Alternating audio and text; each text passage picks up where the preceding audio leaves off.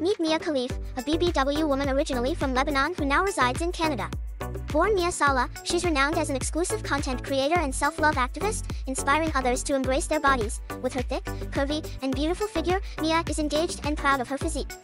Born in March 1991, she's a public figure in both Lebanon and Canada, using her platform to promote body positivity and self-acceptance. Weighing 91 kilograms and standing at 5 feet tall, Mia's figure was achieved through surgery, a personal choice she made to feel confident in her own skin. Despite this, she continues to advocate for self-love and acceptance, promoting active wear and encouraging others to love themselves just as they are.